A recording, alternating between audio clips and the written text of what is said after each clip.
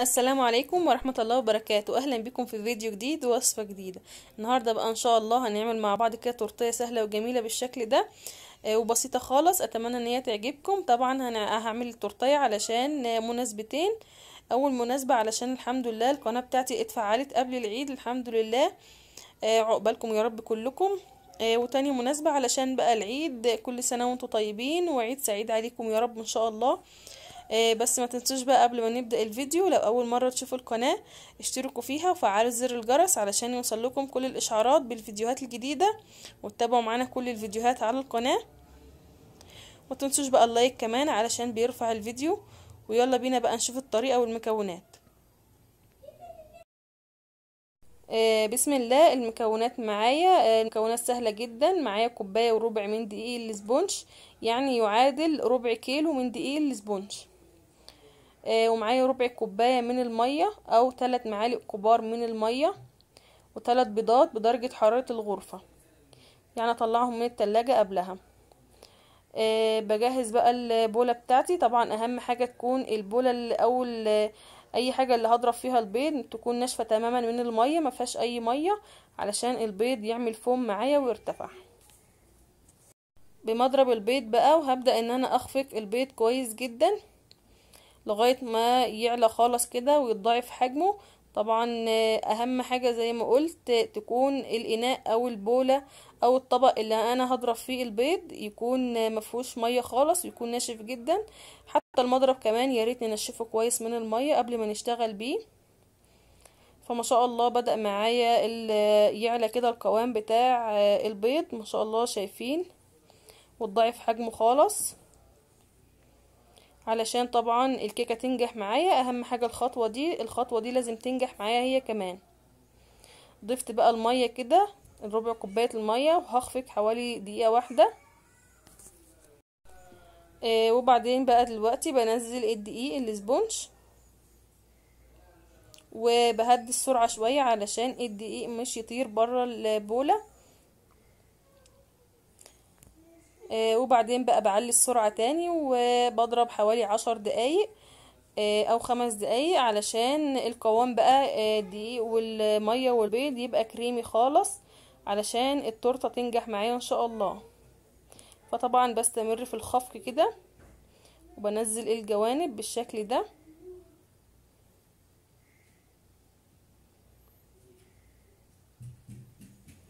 بتبدأ آه تتقل معايا كده والقوام يبقى كريمي ويتقل معايا بالشكل الجميل ده ما شاء الله. هوريكم القوام في النهاية اللي إحنا عايزين نوصله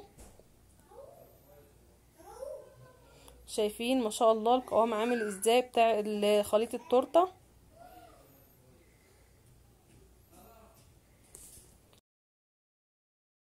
ده قوام الكيكة بتاعتي أو التورتاية ما شاء الله بالشكل الجميل ده. آه عندي بقى دلوقتي حلة آه عميقة شوية.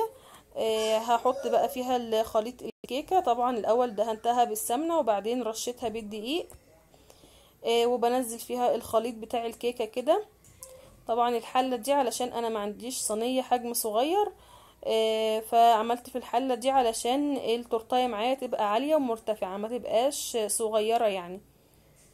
بالشكل ده بدخلها بقى الفرن على درجة حرارة 180 آه زي ما قلت لكم بدخل بقى الكيكاية بتاعتي على درجة حرارة 180 آه وبعد ما بتطلع من الفرن بتبقى بالشكل الجميل ده. طبعا أهم حاجة ببيتها ليلة في التلاجة قبل ما أبدأ أشتغل بيها علشان كل ما بتبات في التلاجة أو تقعد فترة أكتر لما آجي أقطعها أعملها طبقات الكيك مش يتفرفت مني وتطلع تتقطع معايا بكل سهولة. آه دلوقتي بقى بشيل الوش اللي محروق ده على الوش. أنا مش عارفة الفرن عندي فيه مشكلة آه من على الوش عشان درجة حرارته بتبقى عالية آه وبيوزع الحرارة كويس. فدايما بتتحرق مني شوية كده من على الوش.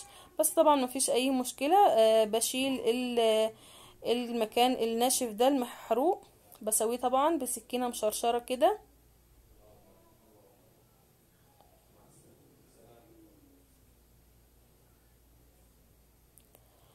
آه وبعدين بقى ببتدي أقطع الكيكايه بتاعتي طبقات. هنضف بس الحاجات دي الأول. وببدأ بقى أقطع الكيكة كده طبقات زي ما إحنا شايفين. هقطعها ثلاثة ما شاء الله الكيكايه ناجحة جدا وجميلة زي ما إحنا شايفين كده.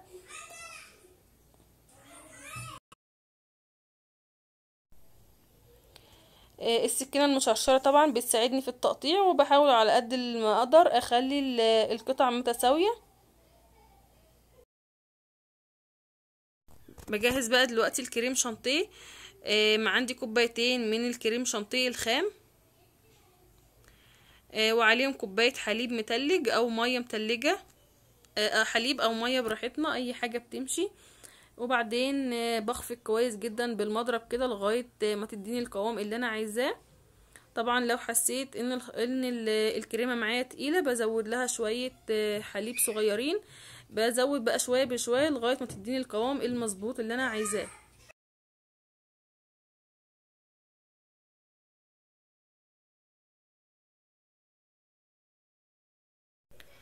طبعا بقى على سرعة عالية بالمضرب بتبدأ ما شاء الله الكريمة تتقل معايا كده بالشكل الجميل ده. إيه، أنا شايفة إن القوام كده كويس خالص من غير ما أزود مية ولا حاجة. هو كوبايتين كريم شانتيه عليهم كوباية حليب. فطبعا براحتنا بقى على حسب النوع اللي بنستخدمه.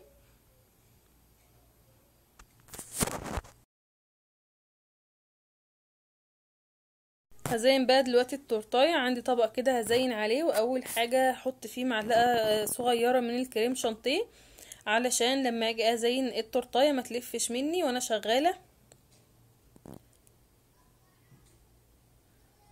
بالشكل ده.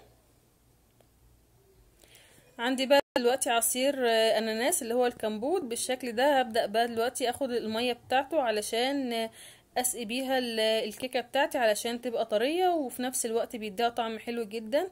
لو مش متوفر بنسقيها بمية بسكر أو أي عصير.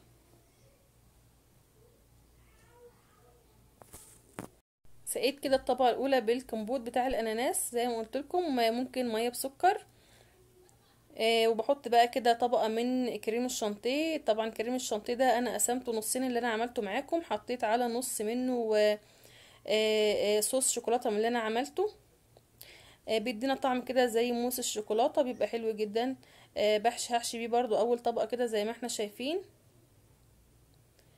آه صوص الشوكولاتة طبعا أنا عملته قبل كده على القناة. هسيب لكم آه ال link بتاع الطريقة في ال description لو حد حابب يشوفه لأن ما دخلتوش في الفيديو المرة دي علشان الفيديو كان هيطول جدا. فحطيت تاني طبقة كده وهبدأ برضو أسقيها كده بالعصير زي ما إحنا شايفين كده. يعني حاجة بسيطة علشان لو كترنا هتعجن مني وتبقى طرية جامد. الطبقة التانية بقى حطيت لها كريم شانتيه كده. وقطعت عليها أناناس من اللي هو الكمبود اللي في اللي معاه العصير. قطع كده طبعا براحتنا. ممكن نحشي أي فواكه من جوه بيبقى حلو جدا ما شاء الله. آخر طبقة بقى حطيتها كده وبرضو هسقيها. هنا أنا نسيت كنت هحط الكريم شانتيه قبل ما أسقيها. وبعدين هبدأ كده أسقيها تاني بالعصير ما شاء الله بالشكل الجميل ده.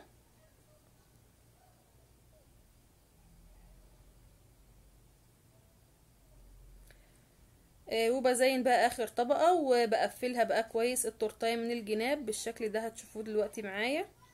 طبعا كل ده بالإسباتيولا أو باستخدام سكينة مشرشرة. اللي عنده بقى الأدوات بتاعه استخدام التورت وكده بيشتغل بيها لكن أنا مش عندي الصراحة فالسكينة المشرشرة اللي قطعت بيها ساعدتني جدا.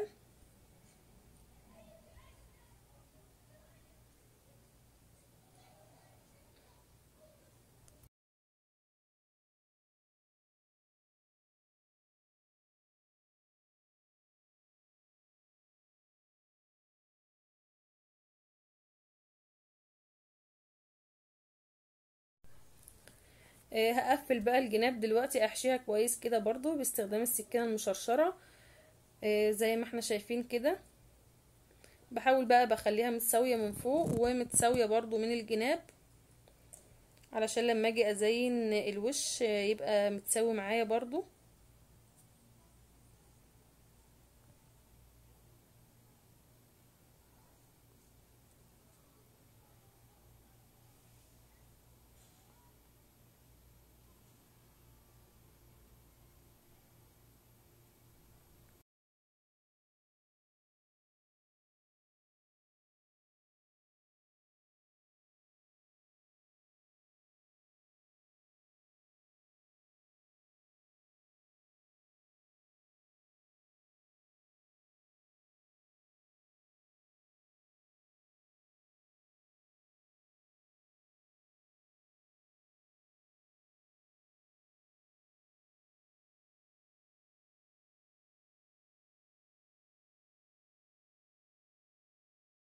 بعد ما قفلت بقى التورتيه كويس كده ما شاء الله من الجناب ومن فوق وخليتها متساوية بقدر الإمكان ما شاء الله بالشكل الجميل ده.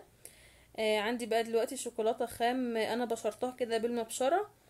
آه وأبدأ كده أحطها على الجناب باستخدام الإيد كده زي ما إحنا شايفين. باخد شوية في إيديا و آه بحطها كده على الجناب بتلزق بكل سهولة في الكريمة.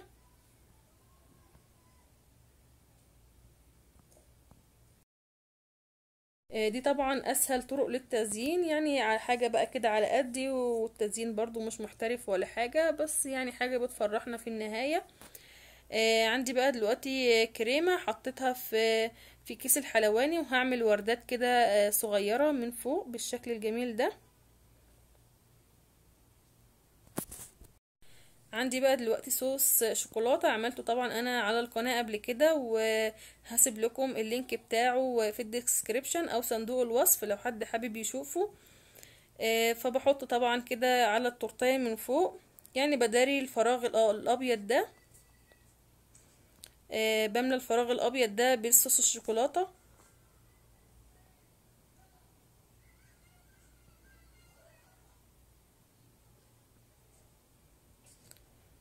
بالشكل الجميل اللي إحنا شايفينه ده.